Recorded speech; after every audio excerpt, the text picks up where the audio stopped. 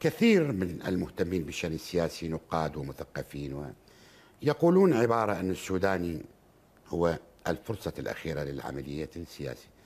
إلى أي مدى ممكن أن تتفق أو تختلف مع هذا التوصيف؟ أنا أفضل استخدام الفرصة الثمينة.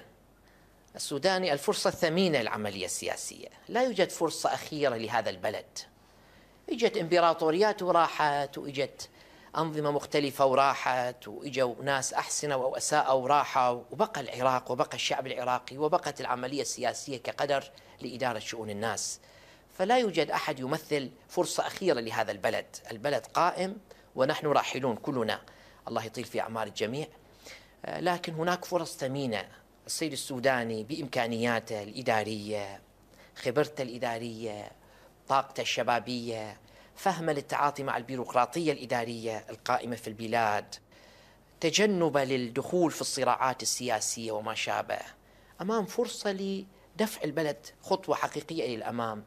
وفي مفارقة غريبة نحن لم نشارك في الحكومة ولكننا من أشد الداعمين لهذه الحكومة لهذا السبب.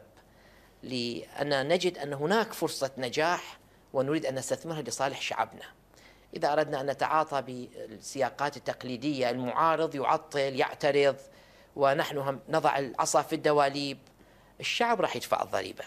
ونحن لا نريد أن نكون سبب في تعطيل إرادة شعبنا أو الخدمة والرفاه لشعبنا. يعني أنت شنو يعني تريد أن تؤسس لنمطية جديدة بالمعارضة العراقية؟ أنا لا أشترك مع الحكومة لكنني أدعم الحكومة. هاي الرسالة إذا أردت تقرأها صح وصل لي إياها. بالحقيقة في كل الحكومات اللي إحنا ما شاركنا بها وحتى التي عارضناها في بعض مساراتها أينما كان أكو موقف إيجابي وصحيح من وجهة نظرنا في تلك الحكومات كنا أول المرحبين والداعمين وبقوة. دائما كنت على يقين بأن يجب أن نعطي صورة لا نعارض لأصل المعارضة. أنا ما أشارك إذا كون أعطل وأعترض على كل شيء. أشارك إذا يجب أن أمجد وأمتدح كل شيء. هذا خطأ. ونحن نشارك نعترض على بعض الخطوات غير السليمة. ونحن نعارض نمدح ونشكر بعض الخطوات السليمة.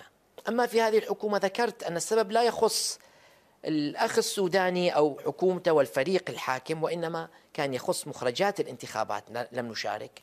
نجد أكو فرصة للنجاح. نقف بكل طاقتنا لدعم هذه الفرصة لتحقيق الرفاه والرخاء لشعبنا.